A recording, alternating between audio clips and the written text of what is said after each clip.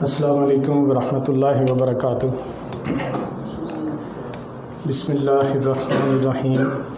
الحمد للہ الحمد للہ رب العالمین، والصلاة والسلام علی سیدنا، سید المرسلین و سیدنا محمد محمد صلی اللہ علیہ وسلم۔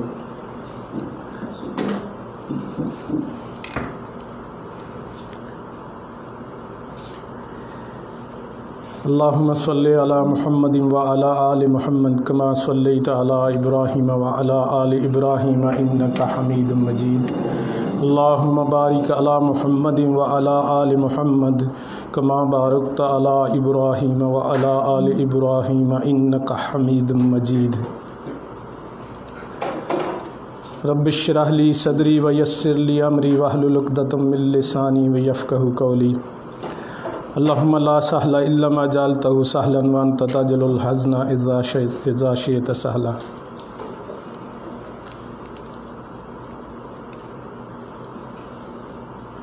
معزز بھائیوں اور بہنوں،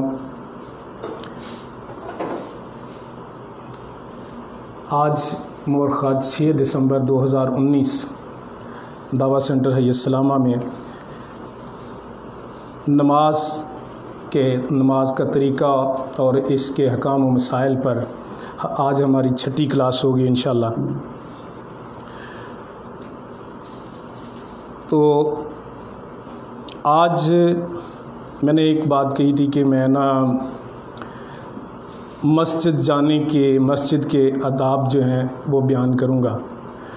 تو میں شارٹلی یہ بیان کرنا چاہتا ہوں کیونکہ اس کے مسجد میں اگلی صف اور مسجد میں جانے کے ہم نے تقریباً سارے جو ہیں حدیثیں پڑھ لی تھی ایک دو حدیثیں جو ضروری سمجھتا ہوں وہ میں پڑھتا ہوں اور اس کے بعد ہم تکبیر تحریمہ پر چلیں گے کیونکہ ہم لاسٹ درس میں تکبیر تحریمہ پر ہم نے چھوڑا تھا۔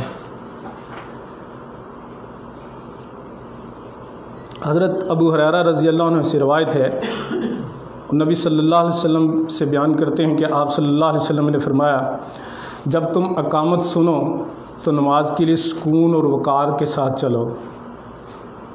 تیزی اختیار نہ کرو، پھر جس قدر نماز مل جائے پڑھ لو اور جو رہ جائے اسے بعد میں پورا کر لو۔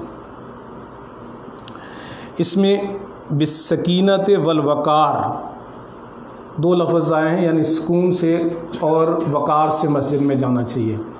آپ نے دیکھا کہ بہت سے لوگ مسجد کے جب جماعت ہو جاتی ہے تو بڑا باغ کے جاتے ہیں۔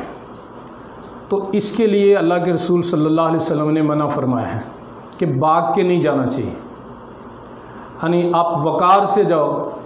اس کی بات، اس بات کو میں تھوڑا سا اوپن کر کے آپ کو سمجھا دیتا ہوں تاکہ آپ کے دل میں یہ بات نہ رہ جائے کہ ہمیں تو آرام سے گئے تو ہمیں تو رکعت بھی نہیں ملے گی۔ ہمیں ایون تشہد بھی جو ہے آخری تشہد بھی نہیں ملے گی۔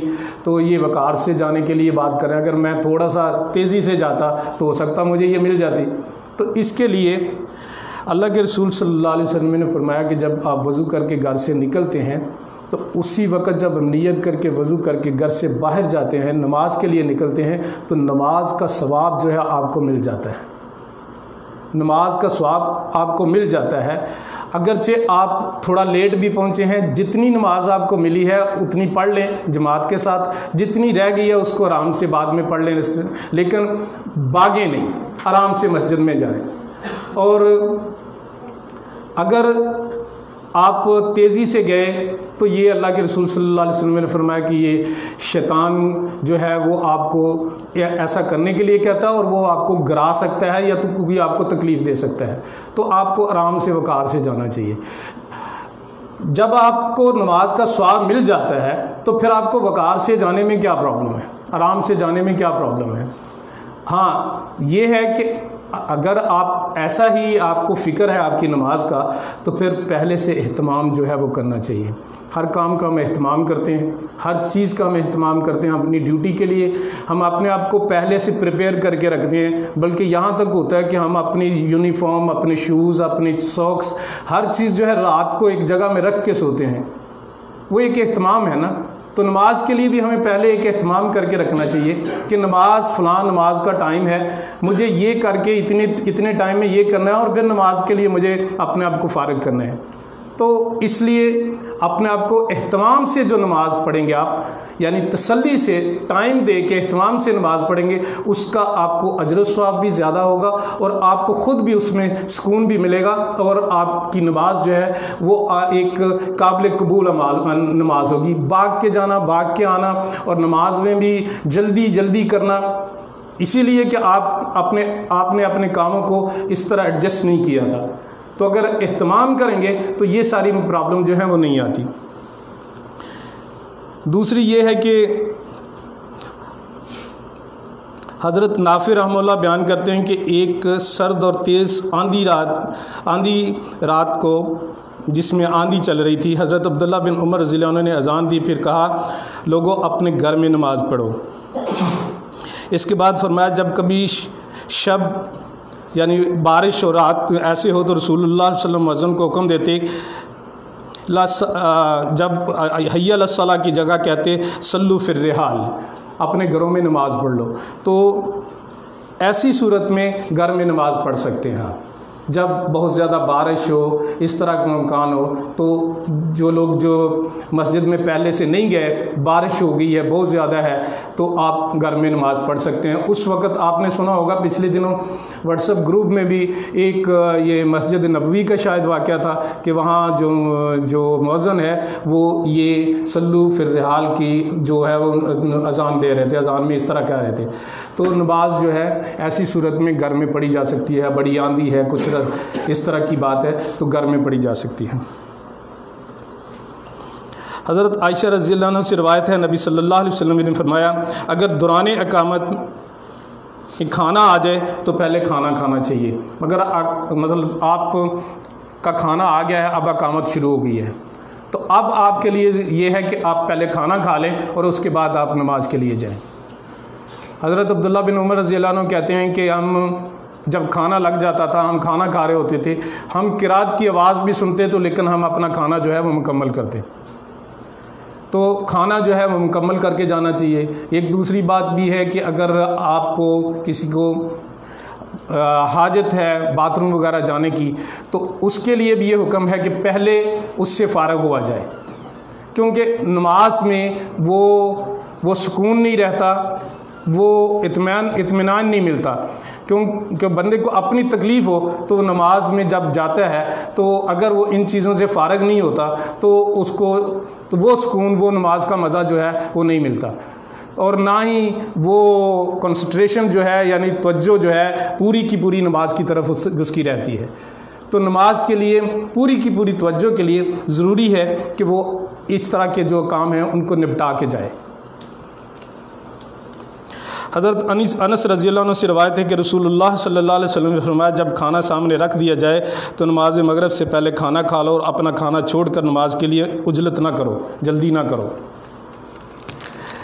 تو دوسرا، جب نماز کے لیے ہم جاتے ہیں، میں نے وہ حدیث بیان کر دی تھی کہ اللہ کے رسول صلی اللہ علیہ وسلم نے فرمایا کہ جب آپ اندھیروں میں جو نماز کے لیے جاتے ہیں یعنی جو مغر، جو عشاء کی اور فجر کی نماز اندھیرے میں ہوتی ہیں، تو ان نمازوں کے لیے جو جاتے ہیں اور ان کے لیے اللہ سبحانہ و تعالیٰ قیامت کے دن کھلا نور دے گا۔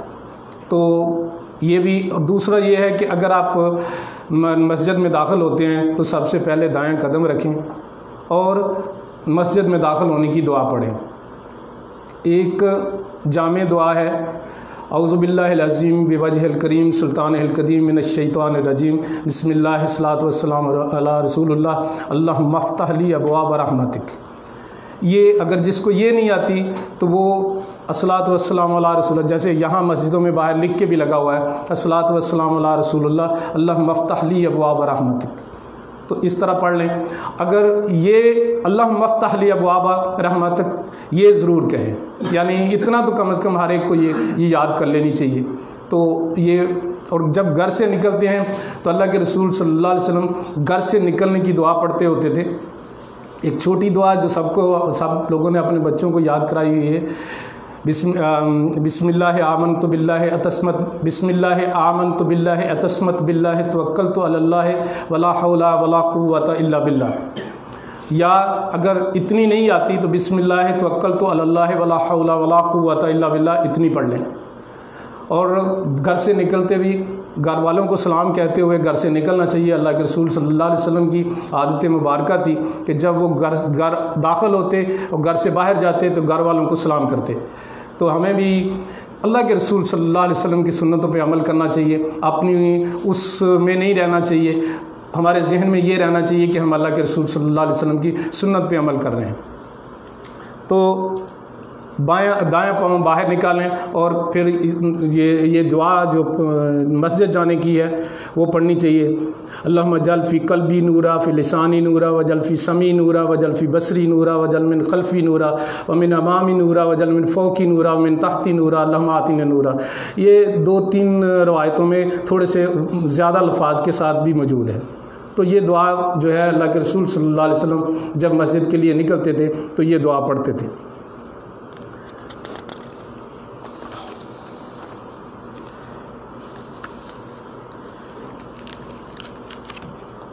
مسجد سے باہر جانے کی دعا جو ہے صلاۃ والسلام علیہ رسول اللہ۔ اللہم انی اسألک من فضلک و رحمتک۔ تو یہ اس طرح پڑھ لینا چاہیے۔ اللہم عاصمنی من الشیطان الرجیم۔ اللہم عاصمنی من الشیطان الرجیم۔ یہ یہ مسجد سے باہر نکلنے کی دعا ہے۔ اس وقت آپ جو بایاں پاؤں ہیں، وہ باہر پہلے رکھیں گے۔ تو یہ چھوٹی سی باقی صفحہ اول کی جو فضیلت ہے وہ ہم بیان کر چکے ہیں۔ اس کے بعد صف اول کی فضیلت میں ہم نے ایک حدیث پڑھی تھی کہ اگر کسی کو صف اذان اور صف اول میں بیٹھنے کی فضیلت کا پتہ چل جائے تو ان کو قرآن اندازی کے سوا کوئی چارہ نہ ملے۔ یعنی اتنی فضیلت ہے کہ ہر بندہ پہلے جا کے، اتنے لوگ پہلے چلے جائیں کہ آپس میں قرآن اندازی ان کو کرنا پڑے کہ میں میں جو ہے میں بیٹھوں گا، پہلے میں بیٹھوں گا۔ تو اس طرح یہ فضیلتیں ہیں جو ہم آلریڈی ہم پچھلے دروس میں بیان کر چکے ہیں۔ آج ہم الحمدللہ تکبیر تحریمہ پہ جو ہے اپنا درس کا آغاز کریں گے۔ تکبیر تحریمہ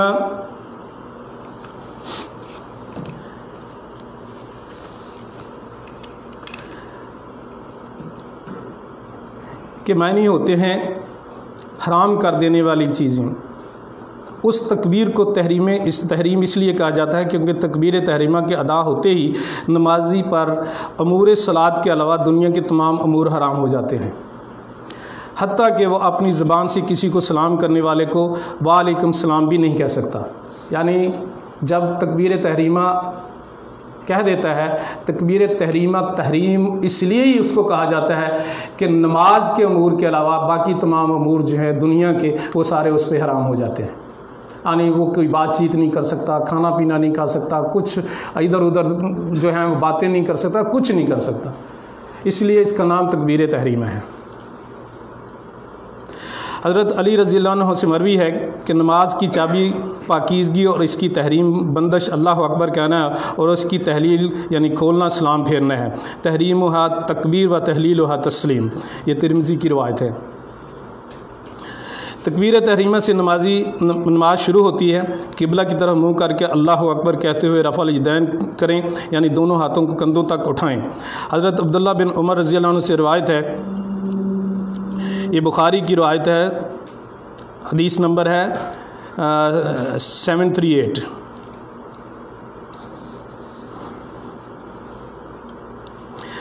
میں نے نبی صلی اللہ علیہ وسلم کو دیکھا، آپ نے نماز کی پہلی تکبیر کہی اور اپنے ہاتھوں کو کندھے، کندھوں کے برابر اٹھایا۔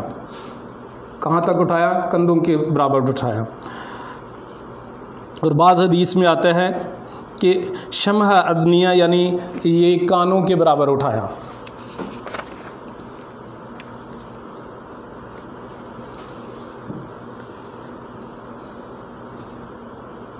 ایک حدیث میں آتا ہے، آپ صلی اللہ علیہ وسلم نے اپنے ہاتھوں کو کانوں کی لو کے کے برابر اٹھایا۔ نبی صلی اللہ علیہ وسلم کبھی ہاتھوں کو کانوں تک بلند فرماتے، بخاری کی حدیث ہے۔ شیخ البانی رحمۃ اللہ فرماتے ہیں کہ عرفہ رفع یدین کرتے وقت ہاتھوں سے کانوں کو چھونے کی کوئی دلیل نہیں ہے، ان کا چھونا بدت ہے۔ جی حضرت ناصر البانی رحمہ اللہ فرماتے ہیں کہ رفع الجدین کرتے وقت ہاتھوں ہاتھوں سے کانوں کو چھونے کی کوئی دلیل موجود نہیں ہے۔ یعنی حدیث میں جو ہے، ازنیہ تک کا لفظ ہے۔ یعنی کانوں تک، یا کانوں کی لو تک، کانوں کو چھونے کا ذکر نہیں ہے۔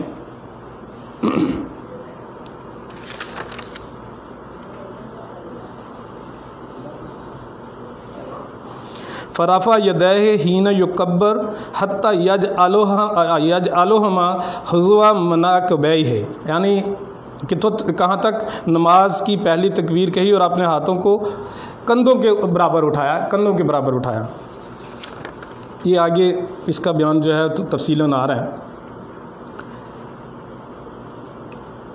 مصنون طریقہ ہتھیلیوں کو کندھوں یا کانوں تک اٹھانا ہے ہاتھ اٹھانے کے مقام میں مرد اور عورتیں دونوں برابر ہیں۔ ایسی کوئی صحیح حدیث موجود نہیں جس میں تفریق ہو۔ یعنی مرد عورتوں کے لیے میں نے جیسے شروع میں یہی کہا تھا کہ پوری نماز مرد اور عورتوں کی ایک ہی نماز ہے۔ مرد اور عورتوں کی نماز میں کوئی فرق نہیں ہے، سوائے میں نے شروع میں جو کہا تھا کہ پردے کے۔ باقی کسی چیز کا کوئی فرق نہیں ہے۔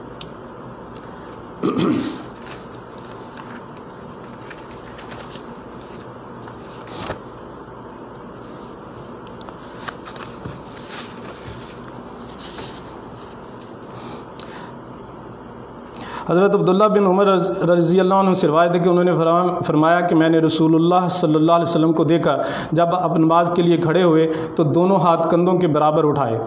اس طرح جب رکوع کے لیے اللہ اکبر اللہ اکبر کہتے، نیز جب آپ رکوع سے سر اٹھاتے تو بھی اسی طرح کرتے اور سمع اللہ لمن حمدہ کہتے ہوئے اور سجدوں میں آپ یہ عمل نہ کرتے۔ یعنی یہ رفع دین کا عمل، جب سجدے کے لیے جاتے تو وہ ایسا عمل نہیں کرتے تھے۔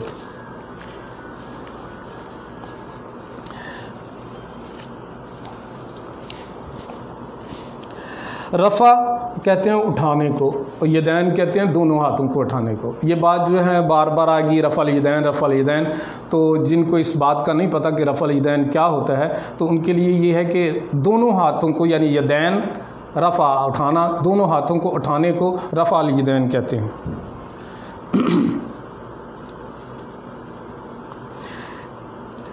ایک حدیث میں ہے، کندھوں کے برابر تک اٹھانا اور کانوں کے لو کے برابر تک اٹھانا۔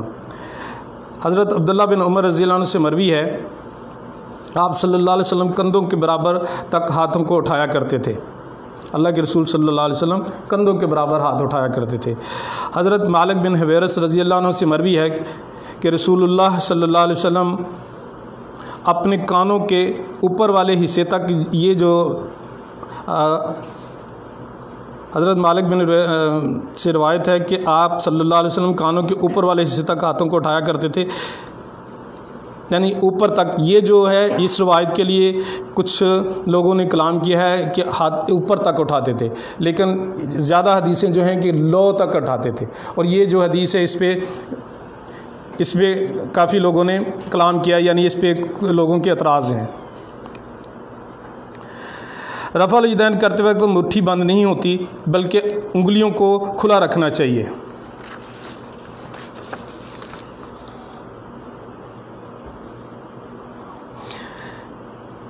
حضرت ابو حرارہ رضی اللہ عنہ فرماتے ہیں کہ آپ صلی اللہ علیہ وسلم جب جب نماز کے لیے تکبیر کہتے تو اپنی انگلیوں کو کھولے کھول دیتے۔ یعنی انگلیوں کو انگلیوں کو اندر کی طرف موڑ کر نہ رکھیں، بلکہ سیدھا کھول دیں۔ اب میں بتاتا ہوں کہ کیسے کرنا چاہیے۔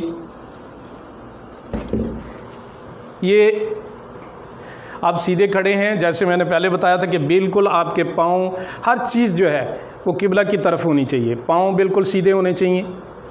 چہرہ پورا سیدھا ہونا چاہیے۔ ایون جہاں تک حدیث میں آتا ہے کہ اپنی گردنیں جو ہیں، وہ بھی سیدھی رکھو۔ گردنیں سیدھی رکھیں۔ بالکل سیدھے آپ کھڑے ہو جائیں۔ ٹھیک؟ اس کے بعد یہ یہ اس طرح ہتھیلی جو ہے، اس طرح کرنی چاہیے۔ اور انگلوں کو بہت زیادہ نہ کھولیں۔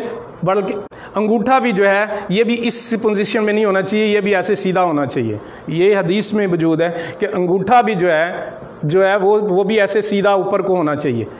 یہ بھی ادھر نہیں ہونا چاہیے، بالکل ایسے ہونا چاہیے، ٹھیک؟ اور یہ کندھوں کے، یہ جو کندھے ہیں، اس کے برابر۔ اس کے برابر۔ دوسری حدیث میں ہے کہ یہ لو کے برابر۔ یعنی آپ اگر کندھوں سے اوپر آپ کا آپ کا ہاتھ جاتے ہیں تو یہ یہ کانوں کی یہ جو لو ہے، یہ جو ہے، یہاں تک یہ جو نرم سا ہوتا ہے، یہاں تک ہونے چاہیے۔ تو کیسے، ایسے ہاتھ رکھنے ہیں، ایسے رکھتے ہوئے یہ آپ کی یہ پوزیشن ہونی چاہیے۔ اور ہاتھ جو ہیں بالکل ایسے سیدھے رہنے چاہیے۔ اس کو رفع الیدین کہتے ہیں اور یہی تکبیر تحریمہ کی پہلی تکبیر جو ہے یہ ہے۔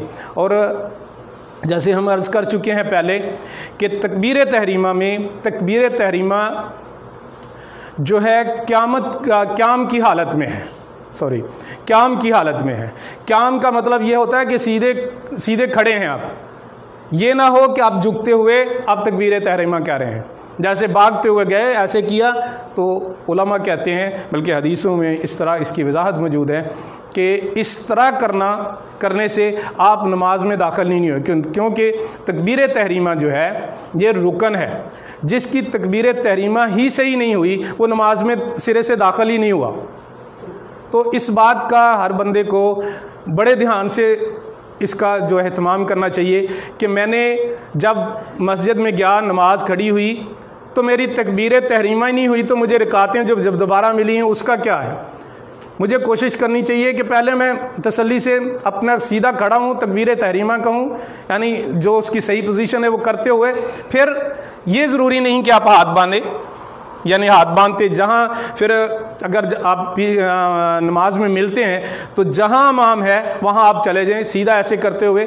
ایسے بھی کریں نو پرابلم لیکن ضروری یہ ہے صرف تکبیر تحریمہ کہتے ہوئے آپ نماز میں مل جائیں۔ اگر وہ رکوع میں ہے رکوع میں چلے جائیں اگر وہ سجود میں ہے تو سجود میں چلے جائیں۔ میں جانے کے لیے تکبیر نہیں کہنی پڑے گی؟ جی یہ یہ بڑا اچھا سوال ہے کہ جب آپ نے تکبیر تحریمہ کہا، اس کے بعد یہ تکبیر تحریمہ کی تکبیر ہے اللہ اکبر۔ اب آپ نے دوسری رکعت میں یا سجدے میں یا رکوع میں کسی دوسرے اس میں ملنا ہے تو آپ کو اللہ اکبر پھر کہتے ہوئے نیچے جانا ہے۔ پھر اللہ اکبر یعنی رکوع کے لیے اللہ اکبر کہتے ہوئے آپ نے نیچے جانا ہے، رکوع کے لیے جانا ہے۔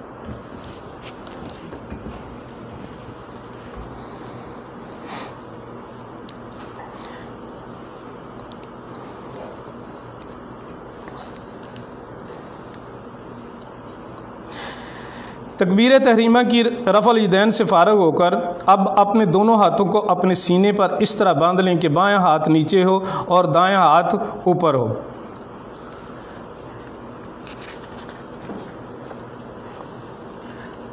چنانچہ حضرت ساحل بن سعد رضی اللہ عنہ بیان کرتے ہیں کہ رسول اللہ صلی اللہ علیہ وسلم کے زمانے میں لوگوں کو حکم دیا جاتا تھا کہ وہ نماز کی حالت میں اپنے دائیں ہاتھ کو بائیں کی بائیں بائیں بائیں کلائی پر رکھیں۔ یہ بخاری کی حدیث ہے۔ حضرت عبداللہ بن مسعود رضی اللہ عنہ سے مروی ہے۔ میں یہ کوشش کر رہا ہوں کہ پہلے نبی صلی اللہ علیہ وسلم کا حدیثوں میں میں عمل بیان کروں۔ اس کے بعد میں آپ کو کر کے بتاؤں تاکہ نبی صلی اللہ علیہ وسلم کا عمل جاننے کے بعد آپ اس میں زیادہ اس میں خیال کریں گے اور آپ کو زیادہ یقین ہوگا اور آپ اس میں اس سنت کو پورا کرنے کی بھی کوشش کریں گے۔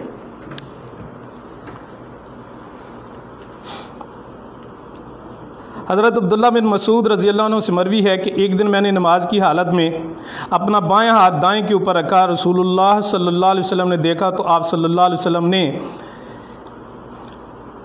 میری اصلاح فرماتے ہوئے دایاں ہاتھ بائیں کے اوپر رکھ دیا۔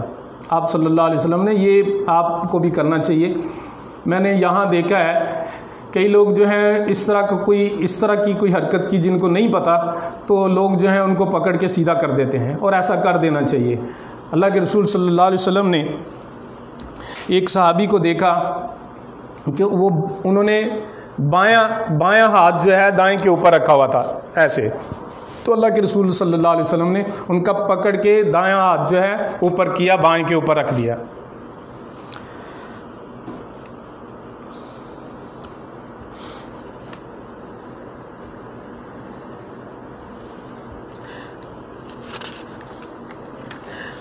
ہاتھ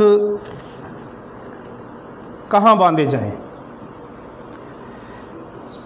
نماز میں ہاتھ سینے پر باندھنے باندھنے چاہیے، یہ صحیح حدیث سے ثابت ہے۔ سیدنا وائل بن حضر رضی اللہ عنہ فرماتے ہیں کہ صلی تما رسول اللہ صلی اللہ علیہ وسلم و ودا یداہ الیمن علی یسرا علی صدر ہی اللہ کے رسول صلی اللہ علیہ میں نے نبی صلی اللہ علیہ وسلم کے ساتھ نماز پڑھی، تو آپ صلی اللہ علیہ وسلم نے اپنا دائیں ہاتھ بائیں ہاتھ پر رکھ کر سینے پر ہاتھ باندھے۔ کہاں ہاتھ باندھے؟ سینے پہ ہاتھ باندھے۔ صدر سینے کو کہتے ہیں۔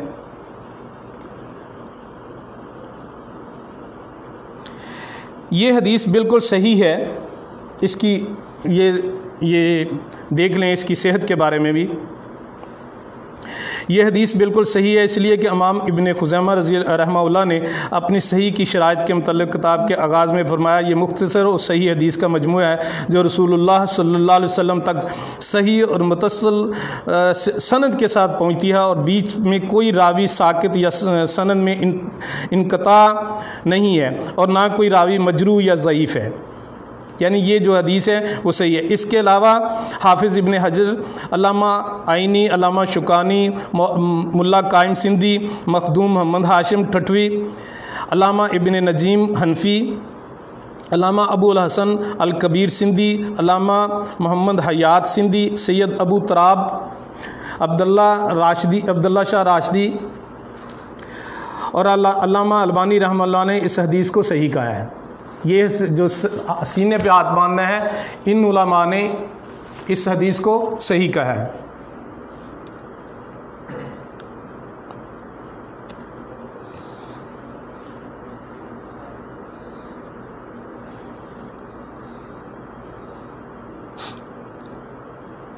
رایت النبی صلی اللہ علیہ وسلم ین صرف ان یمین ہی ان یسار ہی اور آیت ہو کالا یدا حاض اعلیٰ صدر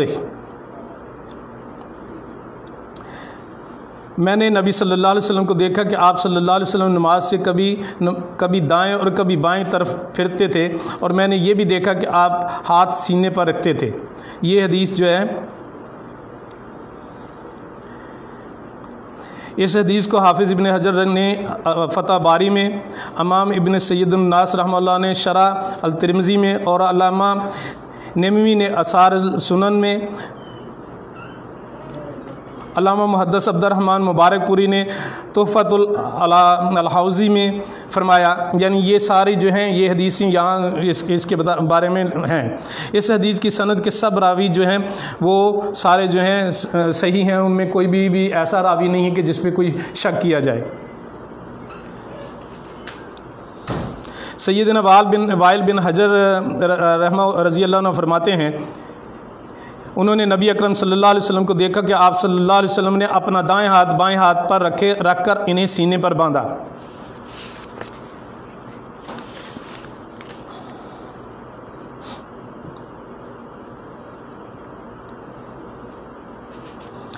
کچھ لوگ جو ہیں، وہ یہ کہتے ہیں کہ صدر جو ہے، وہ ایک سنٹر جگہ کو کہا جاتا ہے، جیسے صدر مقام۔ تو صدر کا مطلب ناف ہے یعنی اس سے وہ اس طرح کی بات لیتے ہیں۔ لیکن آپ کو پتہ ہے، قرآن پاک کی یاد آیت ہے علم نشرح لکسد رکھ اے نبی صلی اللہ علیہ وسلم، کیا ہم نے آپ کا سینہ نہیں کھول دیا؟ اب اس آیت کا ترجمہ آپ یہی کریں گے علم نشرح لکسد رکھ صدر کا مطلب یہاں سینہ ہی بنتا ہے، کوئی یہ کوئی اور چیز بنتی ہے یہاں، سینہ ہی بنتا ہے۔ ٹھیک ہے؟ ایک اور آیت ہے جو میں نے شروع میں بھی پڑھی، رب شرح لی صدری۔ اے اللہ، رب شرح لی، میری شرح صدر فرما، میرا سینہ کھول دے۔ تو سینہ کھولنے کی بات ہے نا، تو سینہ حدیث میں اور قرآن پاک میں صدر جو ہے، سینے کو کہا گیا ہے۔ تو سینے میں کی بات ہے۔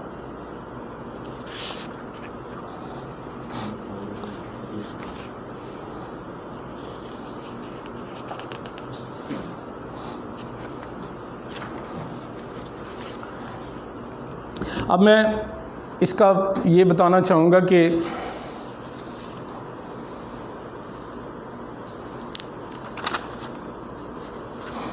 یہ کیسے کیسے رکھنے ہیں؟ تو یہ سینہ ہے۔ تو ہاتھ جو صحیح بخاری کی حدیث ہے۔ صحیح بخاری میں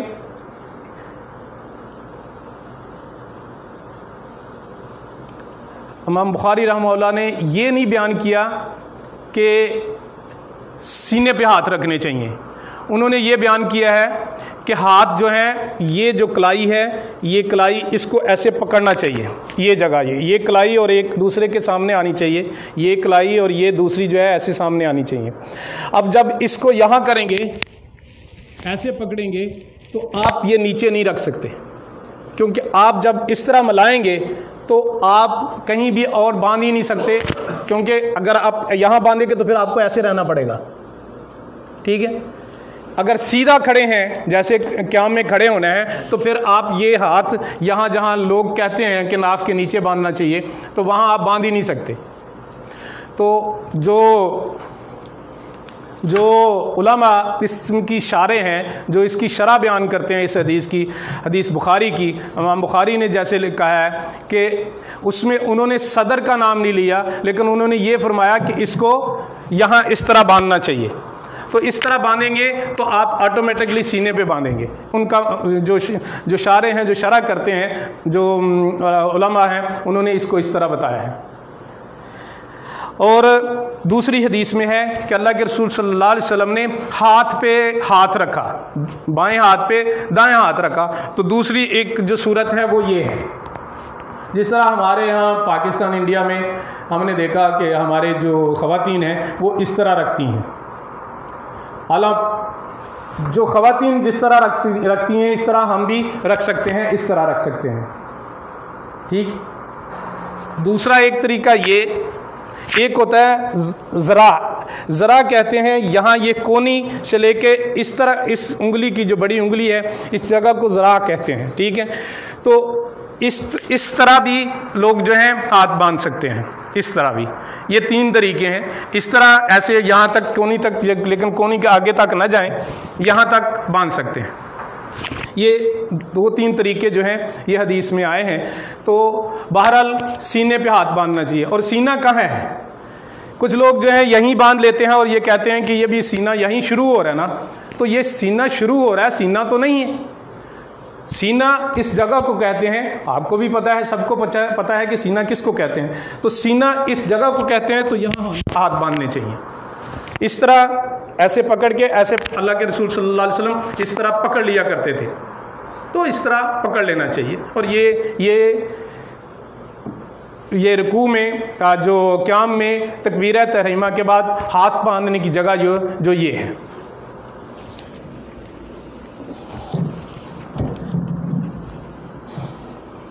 اور یہ تمام مرد اور عورتوں کے لیے، سب کے لیے ایک ہی بات ہے۔ یعنی ان کے لیے الگ بات نہیں ہے، آپ کے لیے الگ بات نہیں ہے۔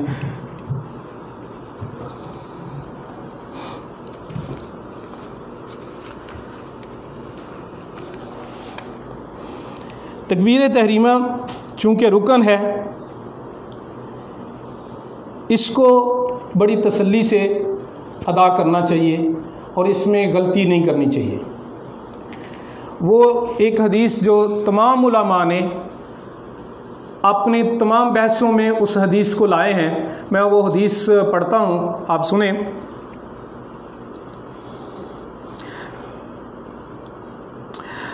ان رسول اللہ صلی اللہ علیہ وسلم داخل المسجد فداخل راجل فصل فسلم علی علی نبی صلی اللہ علیہ وسلم. ایک شخص اللہ کے رسول صلی اللہ علیہ وسلم مسجد میں داخل پہلے سے موجود تھے. فداخل راجل ایک ایک آدمی داخل ہوا فصل اللہ اس نے نماز پڑھی فصلم علیہ نبی نبی صلی اللہ علیہ وسلم، اور پھر اللہ کے رسول صلی اللہ علیہ وسلم کو سلام کیا۔ فردا اللہ کے رسول صلی اللہ علیہ وسلم نے جواب دیا فقالا اور کہا ارج فصل فن قلم تسلی ارج فصل فن قلم تسل جاؤ، واپس جاؤ، تم نے نماز نہیں پڑھی۔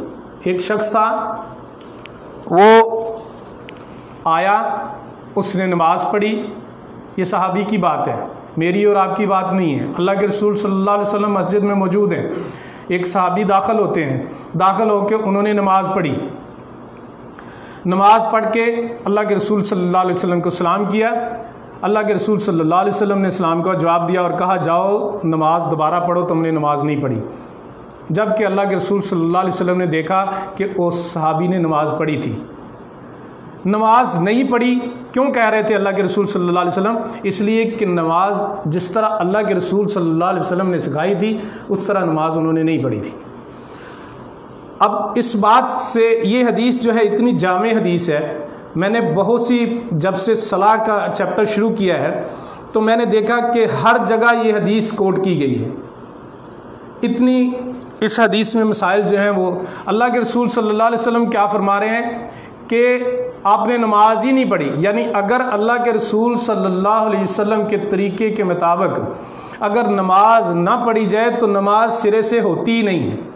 ایک بات ہمیں ذہن میں رکھ لینی چاہیے کہ اللہ کے رسول صلی اللہ علیہ وسلم کا طریقہ سیکھنا کتنا ضروری ہے کہ اللہ کے رسول صلی اللہ علیہ وسلم کس طرح نماز پڑھتے تھے۔ اب اس وہ صحابی بھی ہیں، میں اور آپ کی بات نہیں ہو رہی۔ وہ اللہ کے رسول صلی اللہ علیہ وسلم کے صحابی بھی ہیں، وہ آ کے نماز پڑھتے ہیں۔ اللہ کے رسول صلی اللہ علیہ وسلم ان کی سلام کا جواب دیتے ہیں اور حکم دیتے ہیں، جا کے نماز پڑھو، تم نے نماز نہیں پڑھی۔ فراجہ فصلہ کما صلاح پھر وہ گیا اور اس نے جا کے نماز پڑھی۔ ثم جا فسلم علی نبی صلی اللہ علیہ وسلم۔ پھر آیا، آ کے اس نے پھر اللہ کے رسول صلی اللہ علیہ وسلم کو سلام کیا۔ فقالہ اللہ کے رسول صلی اللہ علیہ وسلم نے دوبارہ فرمایا ارج فصلہ فن قلم تو جاؤ نماز پڑھو، تم نے نماز نہیں پڑھی۔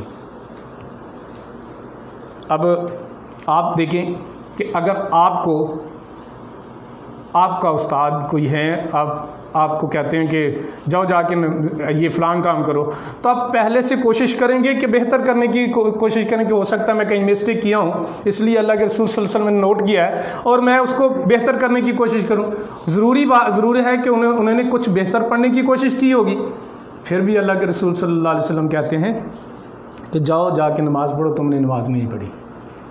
یہ بات، یہ عمل تین دفعہ ہو جاتا ہے۔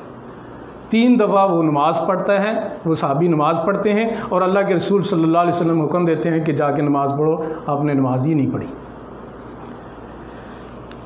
جب تیسری دفعہ وہ آ جاتا ہے اور آ کے اللہ کے رسول صلی اللہ علیہ وسلم کو سلام کرتا ہے، تو اللہ اور کہتا ہے، جب اللہ کے رسول صلی اللہ علیہ وسلم دوبارہ یہی حکم دیتے ہیں، تو وہ آ کے کہتا اللہ کے رسول صلی اللہ علیہ وسلم کو کہتا ہے ولہ زی باس بالحق، ما احسن و ما احسن وغیرہ ہو فعلمنی اللہ کے رسول صلی اللہ علیہ وسلم قسم ہے اس ذات کی، جس کو، جس نے آپ کو حق کے ساتھ مبوس فرمایا ہے، مجھے اس سے بہتر نماز پڑھنا نہیں آتی۔ فعلمنی بس مجھے نماز سکھا دیں فقالا، اللہ کے رسول صلی اللہ علیہ وسلم نے فرمایا، اذا کمتا الصلاۃ فقبر اگر تم نماز کے لیے کھڑے ہوتے ہو تو تکبیر کہو یعنی تکبیر تحریمہ کہو۔ سما سمبکرا ما تیسرا ماں کا من القرآن اور پھر جتنا تمہیں قرآن آتا ہو کچھ قرآن میں وہ پڑھو۔ سمر کا حتیٰ تتما ان راکین اور پھر رکوع کرو اطمینان کے ساتھ۔ تتما کہا گیا ہے یعنی آسے آؤ، جاؤ، نہیں۔ اطمینان کے ساتھ۔ اطمینان بھی اسی لیے ہم نے جب رکن پڑھے ہیں، جب ہم نے نماز کے رکن کی بات کی ہے، تو ہم نے اطمینان بھی جو ہے، اس کو رکن کہا ہے۔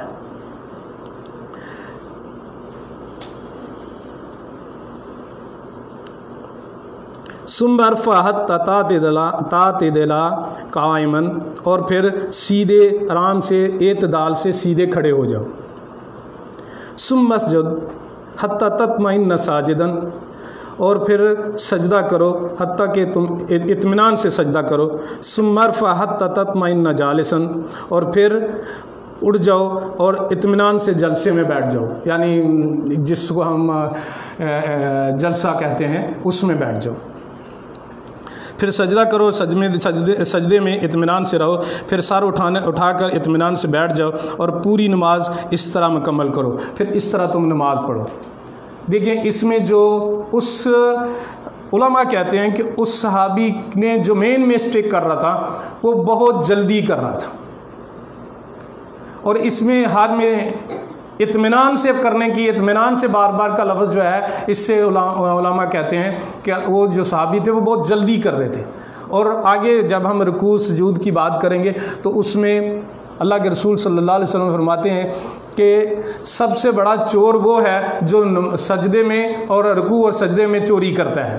یعنی وہ اس طرح چوری اور ایک جگہ ہے جیسے اس طرح نماز نہ پڑھا کرو، جس طرح ٹھنگے مارے مارتے ہیں۔ تو یہ ساری باتیں جو ہیں انشاءاللہ آگے آئیں گی۔ تو ہمیں کیا ہے کہ نماز بہت اعتدال سے، بڑے اطمینان سے نماز پڑھنی چاہیے۔ اس میں بھائی یہ اشارہ نہیں ملتا کہ اگر ہم نبی صلی اللہ علیہ وسلم کے مصابے اگر نماز نہیں پڑھیں گے تو نہیں ہوگی۔ یہ تو ساری ساری بات ہی شروع میں یہی کہہ دی گئی۔ میں نے آپ کو آپ کو سمجھایا بھی آپ کو کہا بھی کہ اگر آپ نے نماز جس طرح اللہ کے رسول صلی اللہ علیہ وسلم نے پڑھنی سکھائی ہے ایسی نہیں پڑھیں گے تو سرے سے نماز ہوتی ہی نہیں ہے۔ بلکہ آگے میں اور بیان کرنے والا ہوں۔ یہ بہت بڑی تعلیم ہے۔ اگر آج ہم کسی بھائی کو بول دیں تو ہمیں شروع کر دیں کہ تو آیا بڑا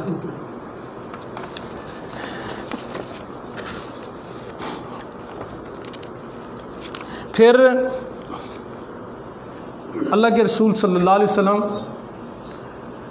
کچھ دعائیں استفساء ہیں، جیسے ہم پڑھتے ہیں جو بچپن سے ہمیں سکھائی گئی ہیں سبحان اک اللہ مواب حمدک شاد اللہ الہ اللہ سبحان اک اللہ مواب حمدک و تبارک قسم کا وط جد کا ولا الہ غیرک۔ اللہ کے رسول صلی اللہ علیہ وسلم سے، اللہ کے رسول صلی اللہ علیہ وسلم جب اللہ اکبر کہہ کے کھڑے ہو جاتے تھے تو کچھ دیر خاموش رہتے تھے۔ اور سبحان اللہ، یہ صحابہ اکرام جو ہیں، انہوں نے دین ہم تک پہنچایا۔ اور یہاں تک کہ ہمیں یہ بتایا کہ اللہ کے رسول صلی اللہ علیہ وسلم جب خاموش رہتے تھے تو وہ کیا پڑھتے تھے۔ تو اللہ کے رسول صلی اللہ علیہ وسلم خاموش تھے تو صحابی نے پوچھا کہ اللہ کے رسول صلی اللہ علیہ وسلم، آپ جب تکبیر تحریمہ کہہ لیتے ہیں اور ہاتھ باندھ لیتے ہیں، اس کے بعد آپ تھوڑی دیر خاموش رہتے ہیں۔ اور ہم دیکھتے ہیں، یہ بات پہ غور کریں، ہم دیکھتے ہیں کہ آپ کی داڑھی جنبش کر رہی ہوتی ہے یعنی آپ کچھ پڑھ رہے تھے، پڑھ رہے ہوتے ہیں۔ تو اللہ کے رسول صلی اللہ علیہ وسلم، آپ کیا پڑھتے ہیں؟ ایک بات یہاں میں رک کے یہ بات کہوں گا کہ جنبش سے کیا پتہ چلتا ہے کہ کچھ لوگ جو کہتے ہیں کہ دل میں فلاں چیز جو ہے پڑھ لینی چاہیے۔ دل میں پڑھ لینے چاہیے۔ دل میں پڑھنے کا یہ نہیں ہے یعنی ایک جا آگے آئے گا، اقرا بنفسک۔ یعنی اقرا فی نفسک اپنے نفس میں پڑھ لیا کرو۔ تو نفس سے مطلب یہ نہیں ہے کہ آپ بالکل منہ، زبان، ہونٹ بالکل بند ہوں تو آپ پڑھ رہے ہیں۔ ایسا نہیں ہے۔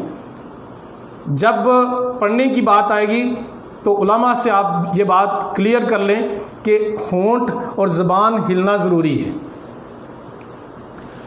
آپ کی آواز باہر نہ جائے، وہ بات الگ ہے۔ لیکن ہونٹ، ہونٹوں کا ہلنا اور زبان کا ہلنا ضروری ہے۔ یہ پچھلے دنوں ہمیں، ہم نے کیا نام ان کا؟ شیخ عاصم الحکیم کا انگلش میں ایک ایک چھوٹا سا کلپ تھا وہ ہم نے اس کو اپنے گروپوں میں شامل بھی کیا تھا۔ وہ اس کو بتا رہے تھے کہ یہ پڑھنا زبان سے اور ہونٹوں کا ہلانا ضروری ہے۔ تو صحابہ کرام نے پوچھا کہ اللہ کے رسول صلی اللہ علیہ وسلم، آپ حضرت ابو حرارہ رضی اللہ عنہ سے روایت انہوں نے فرمایا کہ رسول اللہ صلی اللہ علیہ وسلم تکبیر تحریمہ اور کراط کے درمیان کچھ سکوت فرماتے ہیں۔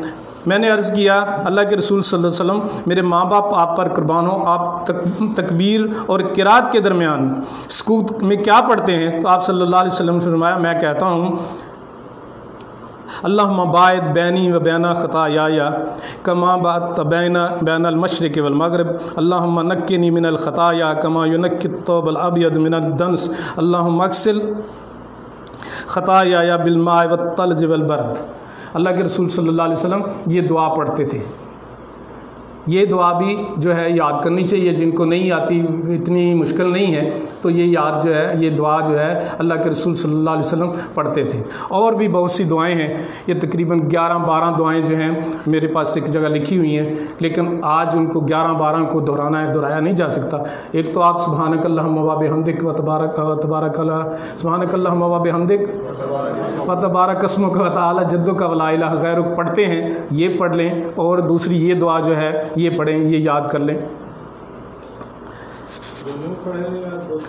دو تین بھی پڑھ لیں۔ اگر آپ کے پاس ٹائم ہے، دو پڑھیں، تین پڑھیں، ایک پڑھیں، زیادہ پڑھیں۔ یعنی آپ تسلی سے اگر آپ کے پاس ٹائم ہے، آپ پڑھنا چاہتے ہیں، تو زیادہ پڑھ سکتے ہیں۔ حضرت انس بن مالک رضی اللہ عنہ سے روایت ہے کہ انہوں نے کہا کہ رسول اللہ صلی اللہ علیہ وسلم نے فرمایا، لوگوں کو کیا ہوا؟ وہ نماز میں نگاہیں آسمان کی طرف اٹھاتے ہیں۔ پھر آپ نے اس کے متعلق بڑی سختی سے فرمایا، لوگوں کو اس سے باز آنا چاہیے یا پھر ان کی بنائی کو اچک لیا جائے گا۔ دیکھیں، یہ بات جو ہے، تکبیر تحریمہ میں، ہم ہم نے دیکھا کچھ لوگ جو ہے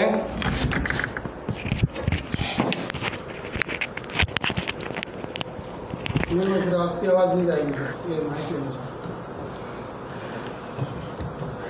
جب جب تکبیر تحریمہ کہتے ہیں، تو ہم نے کئی لوگوں کو دیکھا کہ ایسے کر کے کرتے ہیں، اوپر دیکھ رہے ہوتے ہیں۔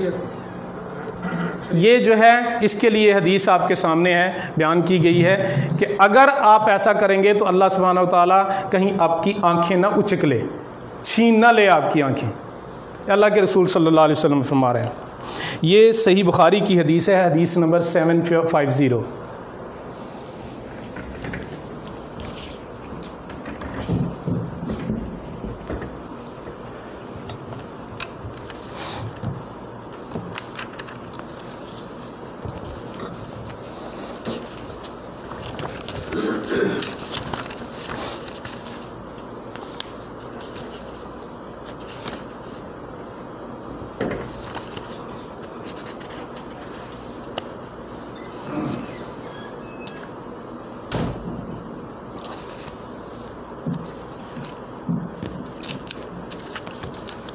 بسم اللہ پڑھ- کے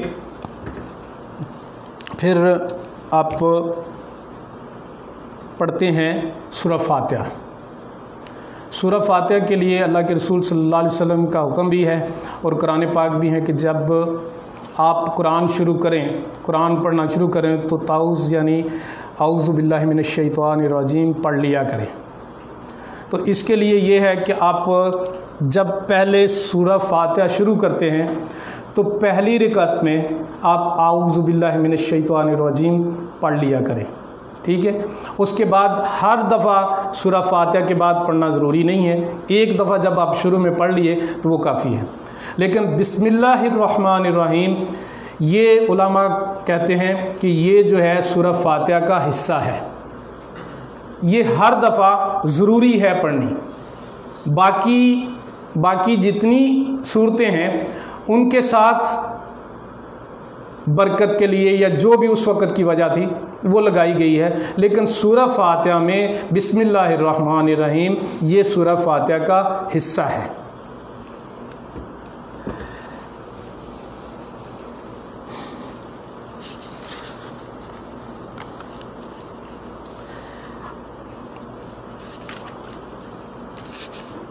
اب ایک بڑی بحث میں شروع کرنے لگا ہوں۔ پتہ نہیں آج ہم رکوع تک ارادہ تھا کہ ہم رکوع تک پڑھیں گے کہ رکوع میں کیسے جانا ہے۔ لیکن ایک جو لاسٹ ٹائم ایک سوال ہوا تھا کہ کیا ہم سورہ فاتحہ، ہم نے کہا تھا کہ سورہ فاتحہ جو ہے وہ رکن ہے۔ سورہ فاتحہ نماز کا رکن ہے۔ اگر سورہ فاتحہ نہ پڑھی جائے تو نماز نہیں ہوتی۔ یعنی جس رکعت میں سورہ فاتحہ نہیں پڑھی گئی، وہ رکعت کمپلیٹ نہیں ہے۔ یہ ہم نے کہا تھا، پھر سوال کیا گیا تھا کہ سوال کیا تھا جی؟ کہ اگر اتنا وقت نہ ہو یعنی تو جو امام ہیں وہ اپنے ذمے سورہ شروع کرتے ہیں۔ اس وقت اگر ہم سورہ فاتحہ پڑھتے جائیں گے تو وہ امام کے ضم سورہ ہم نہیں سنیں گے تو اس طرح تو یہ یہ سوال تھا کہ جب آلریڈی قرآن پڑھا جا رہا ہے، تو ہم سورہ فاتحہ جو ہے وہ کیسے پڑھیں گے کہ جبکہ قرآن پڑھا جا رہا ہے؟ لوگوں کا یہ یہ جو ہے کہنا کہ یہ قرآن پاک کی آیت ہے کہ جب قرآن پاک پڑھا جائے تو خاموشی سے سنا کرو تاکہ تم پر رحم کیا جائے۔ اس بات کی دلیل لیتے ہوئے، اس بات اس آیت کو دلیل بناتے ہوئے کچھ لوگ جو ہیں سورہ فاتحہ سے انکار کرتے ہیں۔ میں، یہ پوری ایک بڑی بحث ہے، اس کو شروع کرنے سے پہلے میں ایک بات بتا دوں کہ سب سے زیادہ اللہ کے رسول صلی اللہ علیہ وسلم کو پتہ تھا کہ کیا پہلے کرنا چاہیے، کیا بعد میں کرنا چاہیے؟ اور دیکھیں، یہ جو آیت ہے، یہ سب علماء کا اتفاق ہے کہ یہ آیت جو ہے مکی ہے۔ یہ کب نازل ہوئی؟ مکہ میں نازل ہوئی۔ اور نماز کا حکم کہاں آیا؟ مدینہ پاک میں آیا۔ نماز کا حکم کہاں آیا؟ مدینہ پاک میں۔ تو یہ آیت اللہ کے رسول صلی اللہ علیہ وسلم کو پتہ تھا کہ یہ آیت کا کیا مطلب ہے۔ اس کے باوجود بھی اللہ کے رسول صلی اللہ علیہ وسلم اگر حکم دیتے ہیں کہ سورہ فاتحہ پڑھنے کے بغیر نماز نہیں ہوتی، تو پھر اللہ کے رسول صلی اللہ علیہ وسلم کو اس آیت کا پورا پتہ تھا۔ اور اللہ کے رسول صلی اللہ علیہ وسلم حکم دیتے ہیں تو ہم سے زیادہ وہ دین کو جانتے ہیں اور دین ہی ان پر نازل ہوگا تو اللہ کے رسول صلی اللہ علیہ وسلم کا اگر یہ حکم جو ہے، اگر کوئی یہ ثابت کر دے کہ اللہ کے رسول صلی اللہ علیہ وسلم کا یہ حکم صحیح صنعت سے ثابت نہیں ہے، تو پھر بات اور ہے۔ کوئی مائی کلال یہ ثابت نہیں کر سکتا کہ اللہ کے رسول صلی اللہ علیہ وسلم کا حکم جو ہے، یہ صحیح صنعت سے ثابت نہیں ہے۔ یہ اللہ کے رسول صلی اللہ علیہ وسلم کے الفاظ نہیں ہیں۔ یہ کوئی ثابت ہی نہیں کر سکتا۔ یہ آلریڈی ثابت ہے۔ صحیح بخاری امام بخاری رحمہ اللہ نے اس حدیث کو صحیح کہا ہے اور اپنی صحیح میں انہوں نے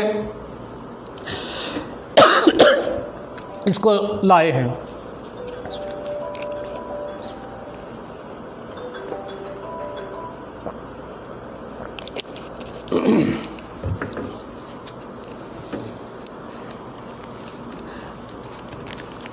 سوال ہے اس کے مطابق۔ جی۔ مثال کے طور پہ جیسے کوئی بھی عصر کی نماز ہے امام زور سے پڑھ امام زور سے نہیں پڑھتے۔ تو لیکن کبھی کبھی یہ ہوتا ہے کہ ہم دوسری جماعت میں پہنچیں اور وہ امام کچھ زیادہ ہی ان کی شاید پڑھنے کی ترکیب بہت ہی فاسٹ ہے۔ تو وہ آدمی جو ہے متقی جو ہے وہ پوری پڑھ نہیں پاتا۔ سورہ فاتحہ اور وہ اس سے پہلے ہی رکو تو اس میں کیا حکم؟ دیکھیے میں پہلے یہ پوری بحث پڑھتا ہوں۔ اچھا۔ آپ لوگوں کے سب کے تقریباً جوابات جو ہیں اس میں ہیں اور اس کے بعد کوئی بات ہوگی تو ہم انشاءاللہ ضرور کریں گے۔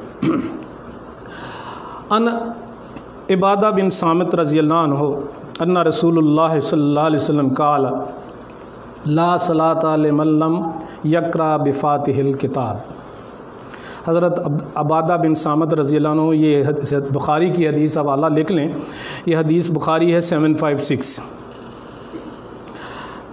حضرت عبادہ بن سامد رضی اللہ عنہ سے روایت ہے کہ رسول اللہ صلی اللہ علیہ وسلم نے فرمایا، جس شخص نے سورہ فاتحہ نہیں پڑھی، اس کی نماز نہیں ہوئی۔ ٹھیک؟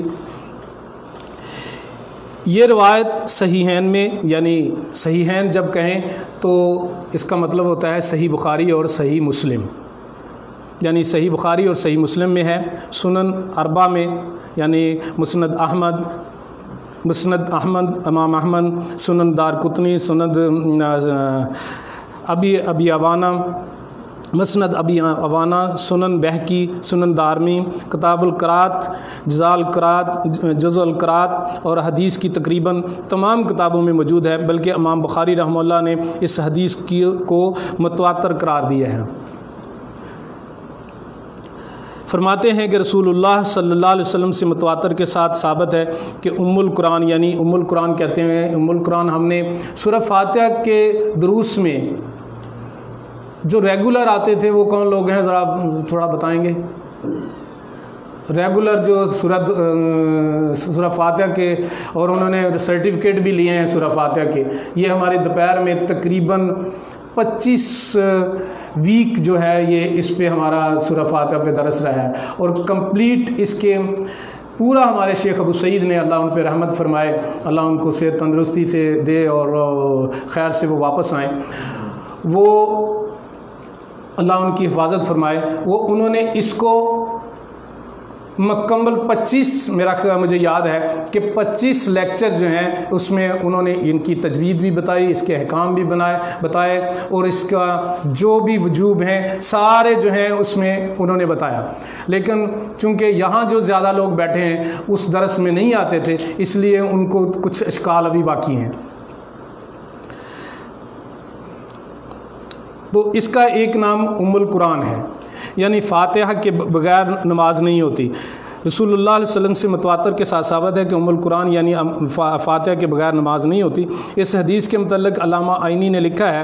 اس حدیث سے عبداللہ بن مبارک، اوزائی، مالک شافی احمد، اسحاق، ابو سور اور دعود ظاہری رحمہ اللہ نے تمام نمازوں میں فاتح خلف خلف الامام پڑھتے، پڑھنے کے وجوب پر استدلال کیا ہے۔ علامہ کرمانی رحمہ اللہ فرماتے ہیں کہ اس حدیث کے پیش نظر سورہ فاتحہ، امام اور مقتدی ہر پر نماز میں پڑھنا واجب ہے۔ واضح رہے کہ قرات فاتحہ نماز کے ارکان میں سے ہے اور رکن ایسی چیز کو کہتے ہیں کہ اس کے ادا نہ کرنے پر وہ چیز جو ہے مکمل نہیں ہوتی۔ یعنی اور رکن محدث رکن نہ ہونے سے شریعت کی نظر میں اس کام کا کوئی اعتبار نہیں۔ شاہ ولی اللہ دہلوی، محدث دہلوی رحمہ اللہ نے ارکان نماز کے متعلق لکھا ہے کہ جسے رسول اللہ صلی اللہ علیہ وسلم نے لفظ رکن سے ذکر کیا ہے، کیا ہو؟ جیسے آپ نے فرمایا، فاتحہ کے بغیر نماز نہیں ہوتی۔ نیز آپ کا فرمان ہے کہ آدمی کی نماز جائز نہیں جب تک وہ رکوع اور سجود میں اپنی پشت کو سیدھا نہ کرے۔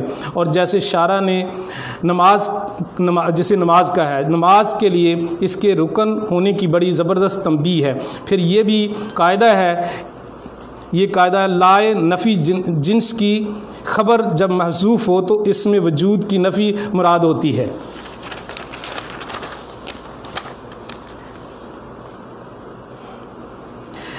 یہ کہ وہاں کوئی کرینہ صارفہ موجود ہو۔ حدیث مذکورہ میں بھی لا نفی جنس کے لیے جس کے معنی ہیں کہ سورہ فاتح کے بغیر نماز کا سرے سے وجود ہی برقرار نہیں رہتا۔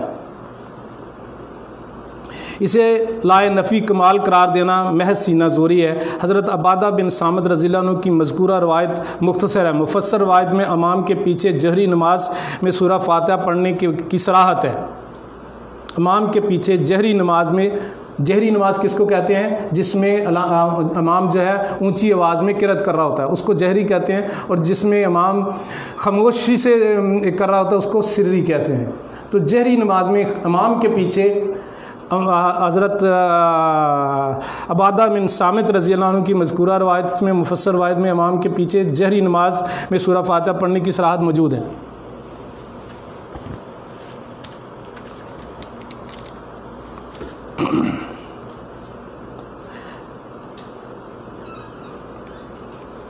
چنانچہ چنانچہ عبادہ بن سامد رضی اللہ عنہ کہتے ہیں کہ ہم ہم نے نماز فجر میں رسول اللہ صلی اللہ علیہ وسلم کے پیچھے تھے، آپ نے قرآن پڑھا تو آپ پر قرات کرنا بھاری ہوگی۔ یہ بات آپ ذرا غور سے سن لیں، آپ کو بات کا پتہ چل جائے گا۔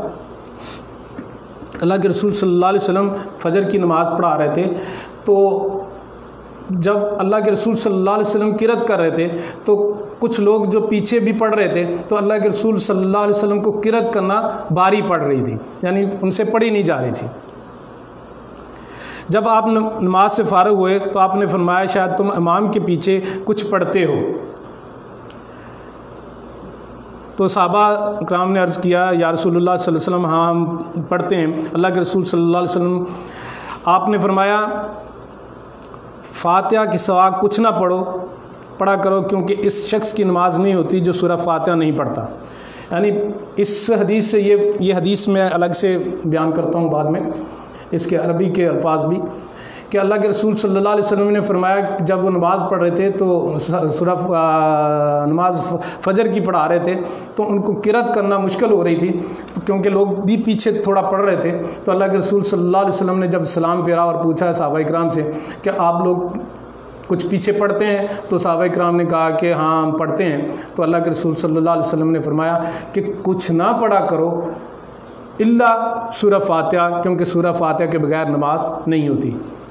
اب اس سے آگے یہ بات ثابت ہوئی کہ کچھ اور نہیں پڑھنا چاہیے۔ جب کرت ہو رہی ہو تو کچھ اور نہیں پڑھنا چاہیے، لیکن سورہ فاتحہ پڑھنی چاہیے، کیونکہ سورہ فاتحہ کے بغیر نماز نہیں ہوتی۔ اس حدیث میں واضح یہ بات ہے۔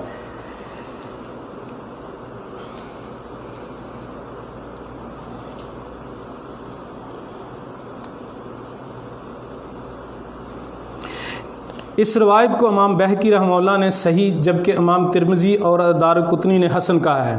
امام شکونی شوکانی رحمہ اللہ فرماتے ہیں کہ اس حدیث سے دو فائدے حاصل ہوتے ہیں۔ امام کے پیچھے قرآن کریم پڑھنے کی اجازت نہیں یعنی امام کے پیچھے جب ایسے ہے تو قرآن قرآن پاک پڑھنے کی اجازت نہیں ہے، جب امام قرات کر رہا ہوتا ہے۔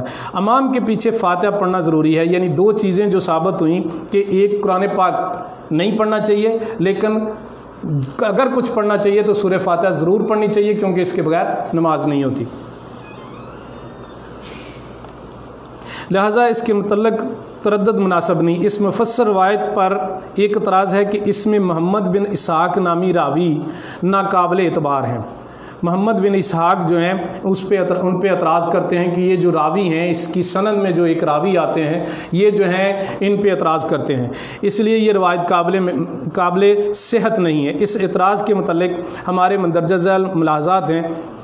ابن اسحاق کے متعلق امام ابو ذرا دمشق فرماتے ہیں کہ ابن اسحاق وہ آدمی ہیں جن سے روایت لینے میں بڑے بڑے اہل علم متفق ہیں۔ اہل حدیث نے ان کے، اہل حدیث مطلب جو حدیث لکھنے والے ہیں، ان کے متعلق جانچ پڑتال کی تو انہیں صدوق پایا یعنی ان کو سچا پایا۔ جمہور آئمہ حدیث نے ابن اسحاق کو سکہ اور حسن الحدیث قرار دیا ہے۔ لہٰذا ان پر جرا ناقابل التفات ہے۔ ابن اسحاق ہر اعتراض کرنے والے والوں نے متعدد مسائل ہیں، میں ابن اسحاق سے مروی حدیث سے استدلال کیا ہے۔ بہت سے حدیثیں بیان کرنے والوں نے یعنی ابن اسحاق سے جو بہت سی حدیثیں لی ہیں۔ چنانچہ بطور مثال چند ایک مرویات ہیں۔ چور کا ہاتھ کاٹنے پر اتفاق ہے، لیکن کتنی مالیت کی چوری پر ہاتھ کاٹنا چاہیے؟ یہ حدیث جو ہے، ابن اسحاق سے آئی ہے۔ یہ یہ حدیث سب کے پاس ہے۔ لیکن کتنی مالیت ہو جس پہ ہاتھ کاٹنا چاہیے؟ امام ابو حنیفہ رحمہ اللہ کے نزدیک اگر دس درم مالیت کی چوری کرے تو اس کا ہاتھ کاٹ دیا جائے۔ اس سلسلے میں بطور دلیل جو روایت پیش کی جاتی ہے، اس میں محمد بن اسحاق موجود ہیں۔ یہ جو حدیث ہے محمد بن اسحاق، اس میں، اس حدیث میں راوی موجود ہیں۔ اب جو اعتراض کرنے والے ہیں، جو اعتراض کرتے ہیں، اس حدیث کو لے لے رہے ہیں اور جس حدیث میں ان کے مسلک سے مسالہ مشابت نہیں یعنی اس سے ماچ نہیں کر رہی وہ حدیث جو ان سے مسلک کے میچ نہیں کر رہی، اس کو وہ چھوڑ رہے ہیں اور اس میں اعتراض کر رہے ہیں کس پر؟ محمد بن اسحاق پر۔ لیکن خود بہت سی حدیثیں ان سے لے کے بیان بھی کرتے ہیں۔ ایک اور حدیث ہے، نماز فجر کی خوب روشن وقت میں پڑھنے کے متعلق جو حدیث پیش کی جاتی ہے، جسے امام ترمزی نے روایت کیا ہے، وہ بھی ابن اسحاق کے واسطے سے مروی ہے۔ جامع ترمزی حدیث نمبر ہے ون فائیو فور یہ باب السلام ہے۔ تو یہ حدیث بھی جو ہے ابن اسحاق کے تھرو جو ہے وہ آئی ہوئی ہے۔ ٹھیک؟ اب یہ تھوڑی سی بحث ایسی ہے کہ جو میرا خیال تھوڑی سی یہ ہمارے جتنے درس ہوئے ہیں، اس میں تھوڑی سی خشک سی ہے۔ لیکن اس کو بہرحال اس طرح بیان کرنا ضروری تھا تاکہ سب کی سمجھ میں یہ بات آ جائے کہ یہ کیوں ضروری ہیں حضرت انس بن مالک رضی اللہ عنہ سے روایت ہے کہ رسول اللہ صلی اللہ علیہ وسلم نے ایک دفعہ اپنے صحابہ کرام رضی اللہ عنہم کو نماز پڑھائی جب فارغ ہوئے تو ان کی طرف متوجہ ہو کر فرمایا، جب امام کرت کر کر رہا ہوتا ہے تو کیا تم نماز میں کرت کرتے ہو؟ پہلے دوسرے راوی تھے، عبادہ بن سامت۔ اب دوسرے راوی ہیں انس بن مالک، وہ بھی اسی روایت کو بیان کرتے ہیں۔ وہ س- امام کرت کر کر رہا ہو تو کیا تم کچھ امام کے پیچھے پڑھتے ہو؟ وہ سب خاموش رہے۔ آپ نے تین مرتبہ یہ سوال دہرایا، پھر انہوں نے کہا کہ ہاں ہم ایسا کرتے ہیں۔ آپ صلی اللہ علیہ وسلم نے فرمایا، ایسا مت کیا کرو، بلکہ ہر ایک اپنے جی میں صرف فاتحہ پڑھا پڑھا کرے۔ امام ابن حبان رحمہ اللہ نے اس روایت کو اپنی صحیح میں بیان کیا ہے۔ السنن القبرا البحکی حدیث نمبر ہے 165 حضرت ابو حرارہ رضی اللہ عنہ سے روایت ہے کہ انہوں نے کہا کہ رسول اللہ صلی اللہ علیہ وسلم نے فرمایا، جس شخص نے نماز پڑھی اور اس میں سورہ فاتحہ نہ پڑھی، وہ نماز ناقص ہے ناقص ہے ناقص ہے۔ تین دفعہ۔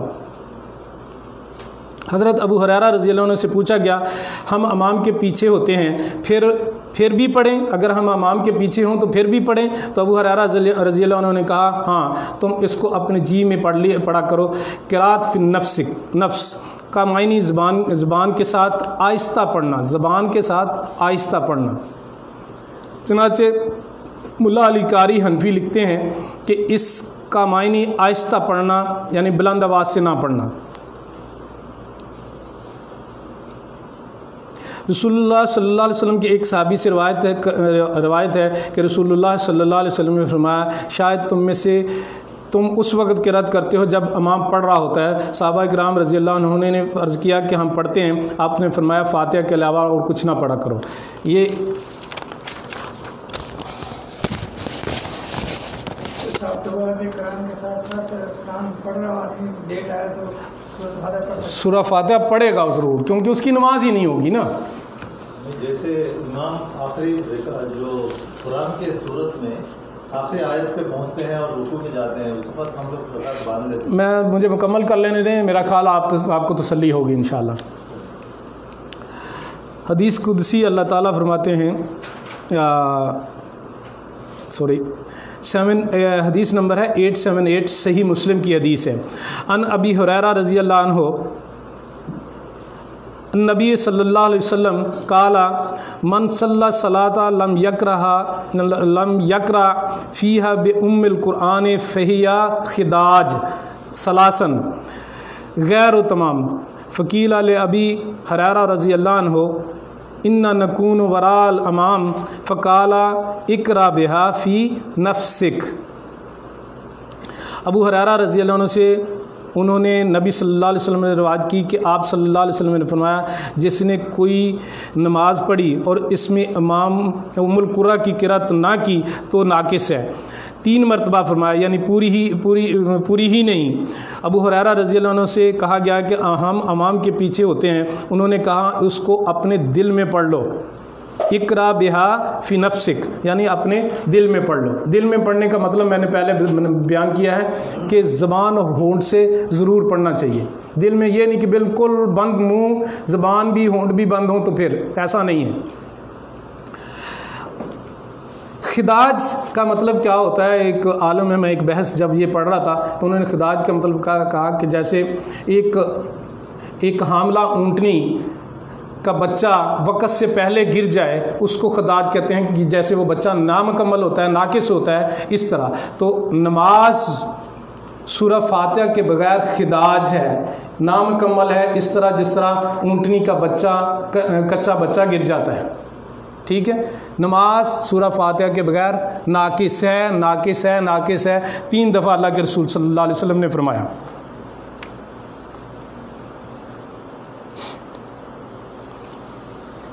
یہ حدیث صحیح مسلم میں ہے۔ میں نے اس کا حوالہ نمبر بتا دیا آپ کو، ایٹ سیون ایٹ۔ اور اگر سورہ فاتحہ نہیں پڑھتے تو ایک بڑی پیاری حدیث ہے۔ اس میں پھر کیسے عمل ہو سکے گا کہ اللہ اللہ، حدیث قدسی جو ہے، وہ حدیث قدسی ہے اور اس میں اللہ کے رسول صلی اللہ علیہ وسلم کو کہ ٹائم ہو گیا؟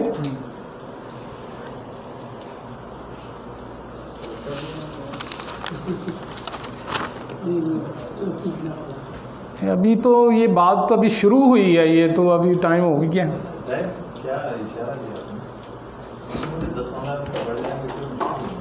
انہوں نے جانا ہے نا انہوں نے وہ توبل والے ہیں انہوں نے جانا ہے۔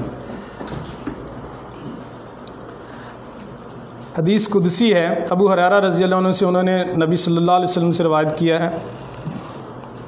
کہ آپ صلی اللہ علیہ وسلم نے فرمایا، جس نے کوئی نماز پڑھی اور اس میں ام القرا کی قرات نہ کی تو ناقص ہے تین مرتبہ فرمایا یعنی پوری ہی نہیں، پوری ہی نہیں۔ ابو حرارہ رضی اللہ عنہ نے کہا کہ ہم امام کے پیچھے ہوتے ہیں تو انہوں نے کہا کہ اپنے دل میں پڑھ لیا کرو۔ فنی سمیت و رسول اللہ صلی اللہ علیہ وسلم یقول پھر یہ حدیث جو ہے مکمل جو آگے ہوتی ہے فنی سمیت و رسول اللہ صلی اللہ علیہ وسلم یقول قال اللہ تعالیٰ قسمت الصلاۃ بینی و بینا ابدی نصفین ولی ابدی ما سعلا فائزہ قال العبد یعنی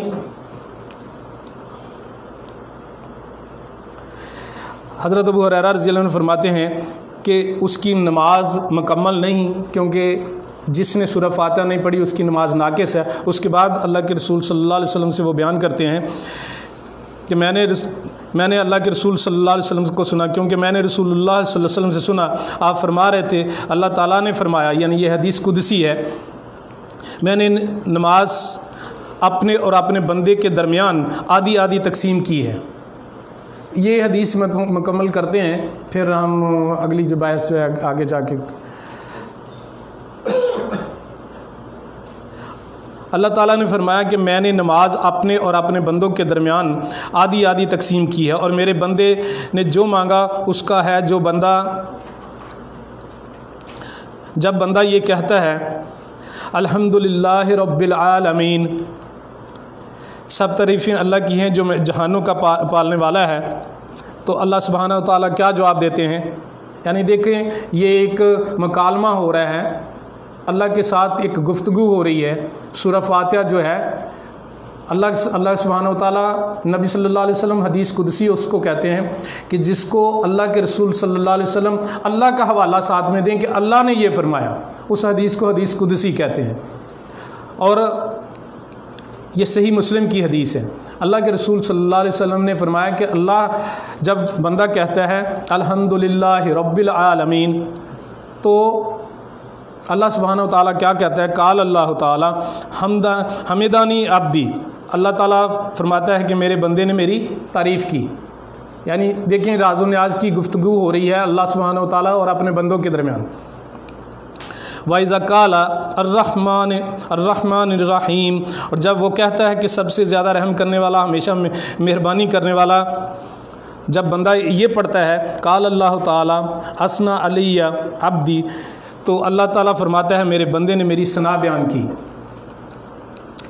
وائزہ کالا مالک یوم الدین جب بندہ یہ کہتا ہے کہ مالک یوم الدین، پھر وہ جب یعنی اس کا مطلب پھر وہ جب کہتا ہے جزا کے دن کا مالک اللہ ہے، تو کال اللہ سبحانہ و تعالیٰ فرماتا ہے، مجدنی عبدی وکال مرتن فودا علیہ عبدی۔ تو اللہ فرماتا ہے، میرے بندے نے میری بزرگی بیان کی اور ایک دفعہ فرمایا کہ میرے بندے نے اپنے معاملات میں میرے میرے اپنے معاملات میرے سپرد کر دیے یہ دیکھیں، یہ گفتگو ہو رہی ہے نماز میں۔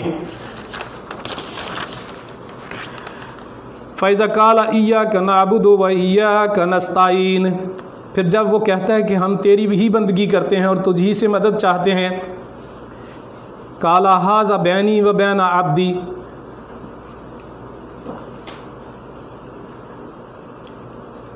تو اللہ سبحانہ و تعالیٰ فرماتا ہے کہ میرے اور میرے بندے کے درمیان ہے اور میرے بندے نے جو مانگا اس کو دیا جائے گا۔ یعنی یہ یہ جو ہے جب بندہ اس طرح کہتا ہے ایا کا نعبد و ایا کا نستعین کہ ہم تیری ہی بندگی کرتے ہیں، ہم تیری ہی عبادت کرتے ہیں اور تجھ سے ہی مدد مانگتے ہیں۔ تو اللہ سبحانہ و تعالیٰ کہتا ہے کہ یہ میرے اور میرے بندے کے درمیان ہے۔ اللہ جو بندہ مجھ سے مانگتا ہے، میں اس کو دیتا ہوں۔ فائزہ کالا اہدن السراط المستقیم سراط واللزین انعمت علیہم غیر المقوب علیہم والدالین جب وہ کہتا ہے کہ ہمیں راہ راہ راست دکھا، ان لوگوں کی راہ جن پر تو نے انعام فرمایا ہے، نہ غضب کیے گئے لوگوں کو اور نہ گمراہ کیے۔ تو کالا اللہ سبحانہ و تعالیٰ فرماتا ہے حاض عل ابدی مَاسْعَال تو اللہ فرماتا ہے، یہ میرے بندے کے لیے اور میرے بندے کا بندے کا ہے جو اس نے مانگا۔ یعنی یہ میرے جو جو میرے بندے نے مجھ سے مانگا، میں نے اس کو دیتا ہوں۔ یعنی یہ یہ دیکھیں، یہ اب یہاں تک یہ حدیث جو ہے کمپلیٹ ہوتی ہے۔ اب جس بندے نے سورہ فاتحہ ہی نہیں پڑھی، میں آپ سے سوال کرتا ہوں۔ جس بندے نے سورہ فاتحہ ہی نہیں پڑھی اب ایک بات یہ ہے کہ جو لوگ سورہ فاتحہ نہ پڑھنے کے قائل ہیں، وہ جہری نماز میں تو نہیں پڑھتے۔ کیا وہ سری میں پڑھتے ہیں؟ سری میں بھی نہیں پڑھتے۔ جب وہ امام کے پیچھے ہوتے ہیں، سری نماز یعنی جب نماز جب امام کرت کر رہا ہوتا ہے، وہ پڑھتے ہیں۔ جب جو نماز میں، جیسے ظہر کی نماز اور عصر کی نماز میں، اس میں سری نماز ہے یہ۔ اس میں امام کرت خاموشی سے کر رہا ہوتا ہے۔ کیا وہ لوگ جو ہیں سورہ فاتحہ پڑھتے ہیں؟ وہ پھر بھی نہیں پڑھتے۔ کیونکہ ان کے مسلک کو یہ بات میچ نہیں کرتی۔ اب وہ گئے، اللہ اکبر کیا اور اس کے بعد پوری نماز ایسے ہی کھڑے ہو کے واپس آ گئے۔ انہوں نے اللہ سے، اللہ سبحانہ و تعالیٰ سے یہ جو صحیح حدیث، صحیح مسلم کی حدیث ہے یہ یہ گفتگو اللہ اور اللہ اللہ کے بندے کے درمیان جو ہوتی ہے، وہ تو انہوں نے کی ہی نہیں ہے۔ تو اس کی نماز کیسے ہو گئی؟ اس پہ وہ اس حکم پہ وہ انہوں نے عمل ہی نہیں کیا۔ ہماری یہ بات جو ہے، ہم نے یہ شروع میں یہ کہا تھا کہ ہم نے اللہ کے رسول صلی اللہ علیہ وسلم کو احادیث پہ عمل کرنا ہے۔ ہم نے یہ بات شروع میں یہ واضح کر دی تھی کہ جب اللہ کے رسول صلی اللہ علیہ وسلم کا حکم آ جاتا ہے، تو ہمیں حق نہیں پہنچتا ہم اس پہ اعتراض کریں۔ ہم کون ہیں حق؟ کہ ہمیں ہمارے پاس یہ حق ہے کہ ہم اللہ کے رسول صلی اللہ علیہ وسلم پہ اعتراض کریں؟ تو اللہ کے رسول صلی اللہ علیہ وسلم بہتر جانتے ہیں، سب سے زیادہ متقی ہیں اور سب سے زیادہ اللہ کی حمد بیان کرنے والے، اللہ کی عبادت کرنے والے کوئی بندہ یہ کہے کہ فلاں جو ہیں، ہم ان کی اتباع اس لیے کرتے ہیں کہ وہ بڑے عالم ہیں، بڑے محدث ہیں، بڑے یہ ہیں، تو کوئی بھی اللہ کے رسول صلی اللہ علیہ وسلم سے آگے نہیں بڑھ سکتا۔ ٹھیک؟ انس رضی اللہ عنہ سے روایت ہے کہ نبی صلی اللہ علیہ وسلم کے گھر تین لوگ آئے۔ نبی صلی اللہ علیہ وسلم کی امہات المومنین سے سوال کیا۔ تین لوگ اللہ کے رسول صلی اللہ علیہ وسلم کے گھر آتے ہیں آ کے سوال کرتے ہیں اور پوچھتے ہیں کہ اللہ اللہ کے رسول صلی اللہ علیہ وسلم کی عبادت کیسی تھی۔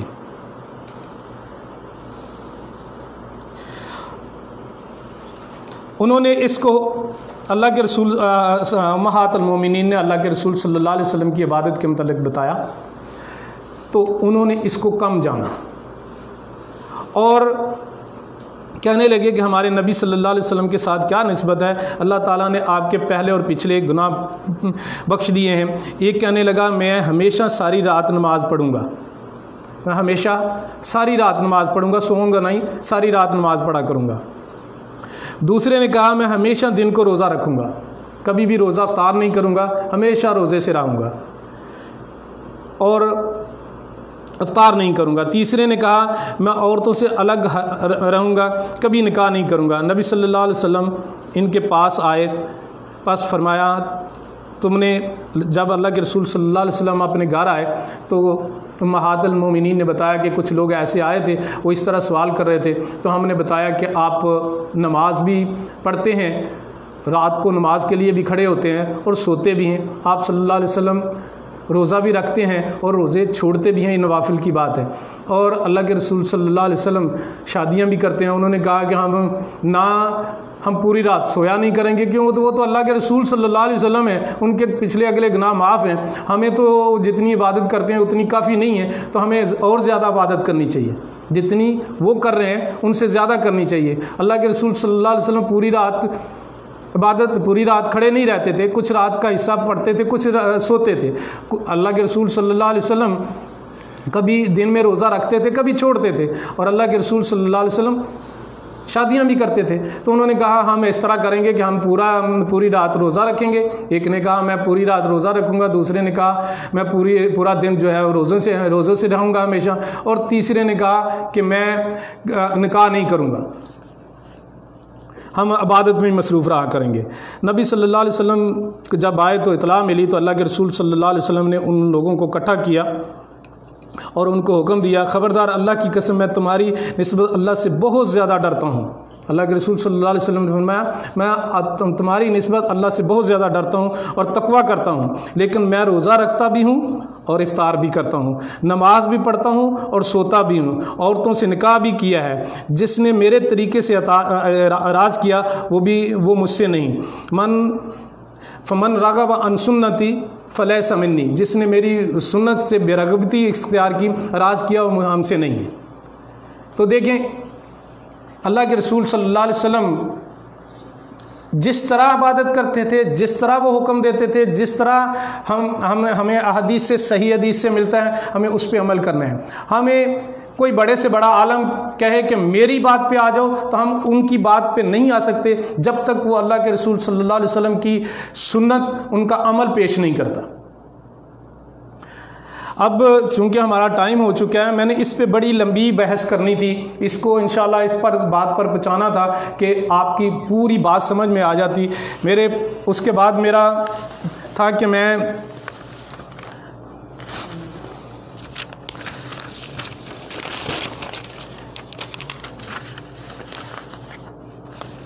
صحابہ کرام کا جو موقف ہے اس سلسلے میں اس کے میں نے احادیث کے ساتھ تقریباً بارہ حوالے جو ہیں، بارہ تیرہ حوالے جو ہیں، وہ لے کے آیا ہوں۔ جی، امام کے پیچھے صحابہ کرام کا کیا موقف تھا؟ چونکہ آج ہمارا ٹائم ختم ہو چکا ہے اور طول والے جا چکے ہیں، تو ہم انشاءاللہ اگلے درس میں اس کو مکمل کریں گے۔ اللہ سبحانہ و تعالی ہمیں سنت پہ عمل کرنے والا بنائے اور اللہ سبحانہ و تعالی نبی صلی اللہ علیہ وسلم کی تمام سنت، تمام اہل حدیث پہ، اہل حدیث پہ عمل کرنے والا بنائے اور ہم اللہ سبحانہ و تعالی ہمارے تمام معاملات کو آسان فرمائے، جو لوگوں کو مشکلات ہیں، اللہ سبحانہ و تعالی سب کی مشکلیں دور فرمائے اور اللہ سبحانہ و تعالی جس کی جاب کا آج کل چونکہ جاب کے ایشوز ہیں، جس کو کوئی جاب کا ایشو ہے، جاب کا مسئلہ ہے، اللہ سبحانہ و تعالی سب کے معاملات آسان فرمائے اور اللہ سبحانہ و تعالی ہماری مغفرت فرمائے، سبحانک اللہم و بحمدک اشہد ان لا الہ الا انت، استغفرک و اتوب علیک